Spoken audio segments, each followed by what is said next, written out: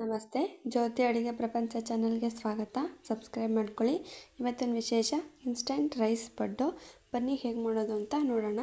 ಮೊದಲಿಗೆ ನಾನಿಲ್ಲಿ ಒಂದು ಮಿಕ್ಸಿಂಗ್ ಬೌಲ್ ತೊಗೊಂಡಿದ್ದೀನಿ. ಅದಕ್ಕೆ ನಾನು ಒಂದು ಕಪ್ ಆಗೋಷ್ಟು ರೈಸ್ನ ಆ್ಯಡ್ ಮಾಡ್ತಾಯಿದ್ದೀನಿ ಇನ್ನು ಒಂದು ಎರಡರಿಂದ ಮೂರು ನಿಮಿಷ ಚೆನ್ನಾಗಿ ಸ್ಮ್ಯಾಶ್ ಮಾಡ್ಕೋಬೇಕಾಗುತ್ತೆ.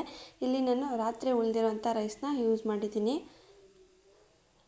ನೆಕ್ಸ್ಟ್ ಸ್ಟೆಪ್ಪಲ್ಲಿ ನಾನು ಯಾವ ಕಪ್ಪಲ್ಲಿ ನಾನು ರೈಸ್ ತೊಗೊಂಡಿದ್ದೀನೋ ಅದೇ ಕಪ್ಪಲ್ಲಿ ನಾನು ಒಂದು ಕಪ್ ಆಗೋಷ್ಟು ರವೆನ ಆ್ಯಡ್ ಮಾಡ್ಕೊತಾ ಇದ್ದೀನಿ.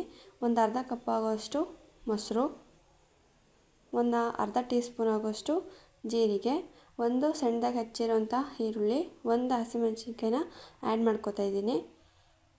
ಒಂದು ಅರ್ಧ ಕಪ್ ಆಗೋಷ್ಟು ನಾನು ಪಾಲಕ್ ಸೊಪ್ಪನ್ನ ಆ್ಯಡ್ ಮಾಡ್ಕೋತಾ ಇದ್ದೀನಿ. ನೀವು ಬೇಕಿದ್ದರೆ ಸಬ್ಸಿಗೆ ಸೊಪ್ಪನ್ನು ಸಹ ಯೂಸ್ ಮಾಡ್ಕೋಬೋದು, ಅದು ಸಹ ಚೆನ್ನಾಗಿರುತ್ತೆ.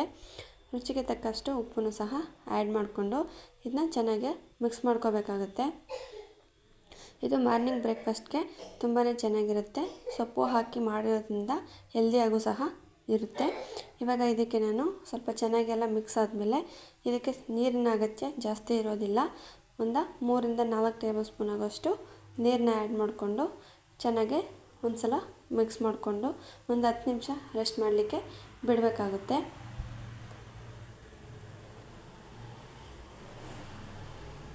ಇವಾಗ ಹತ್ತು ನಿಮಿಷ ಆಗಿದೆ. ಇದು ಪಡ್ಡುನ ಬ್ಯಾಟರ್ ಬಂದು ತುಂಬಾ ಗಟ್ಟಿಯಾಗಿರಬೇಕು. ತುಂಬ ತೆಳುವಾದರೆ ಚೆನ್ನಾಗಿರಲ್ಲ. ಬೋಂಡು ಕಲಿಸ್ತಿರಲ್ಲ, ಅದಕ್ಕಿಂತ ಸ್ವಲ್ಪ ಗಟ್ಟಿಯಾಗಿದ್ದರೆ ಸಾಕು ಪಡ್ಡುಗೆ ಮಿಶ್ರಣ. ನೆಕ್ಸ್ಟ್ ಸ್ಟೆಪ್ಪಲ್ಲಿ ನಾನು ಪಡ್ಡು ತವನ ಬಿಸಿಗೆ ಇಟ್ಕೊಂಡು ಅದಕ್ಕೆ ಸ್ವಲ್ಪ ಆಯಿಲ್ ಹಾಕ್ಕೊಂಡು ಪಡ್ಡು ಮಿಶ್ರಣ ನಾನು ಇವಾಗ ಹಾಕ್ಕೊತಾ ಇದ್ದೀನಿ. ಇದನ್ನ ನೀವು ಪಡ್ಡುನ ಒಂದು ಐದರಿಂದ ಹತ್ತು ನಿಮಿಷ ಮೀಡಿಯಮ್ ಟು ಲೋ ಫ್ಲೇಮಲ್ಲಿ ಬೇಯಿಸ್ಕೊಬೇಕು. ಎರಡು ಕಡೆ ಕಂದು ಬಣ್ಣ ಬರೋವರೆಗೂ ಬೇಯಿಸ್ಕೋಬೇಕು. ಇದು ಮೇಲುಗಡೆ ತುಂಬ ಗರ್ಗರಿಯಾಗಿ, ಒಳಗಡೆ ಸಾಫ್ಟಾಗಿ ತುಂಬಾ ಚೆನ್ನಾಗಿರುತ್ತೆ.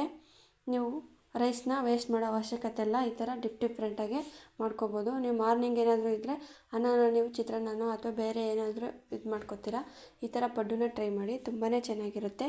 ನೀವು ಇದನ್ನ ಚಟ್ನಿ ಪುಡಿ ಮತ್ತು ಮೊಸರು ಜೊತೆ ತಿಂದರೆ ತುಂಬಾ ಚೆನ್ನಾಗಿರುತ್ತೆ. ಇನ್ನೇನು ಯಾರು ನನ್ನ ಚಾನಲ್ನ ಸಬ್ಸ್ಕ್ರೈಬ್ ಮಾಡಿಲ್ಲ, ದಯವಿಟ್ಟು ನನ್ನ ಚಾನಲ್ನ ಸಬ್ಸ್ಕ್ರೈಬ್ ಮಾಡಿಕೊಳ್ಳಿ, ಸಪೋರ್ಟ್ ಮಾಡಿ. Thanks for watching. ಧನ್ಯವಾದಗಳು.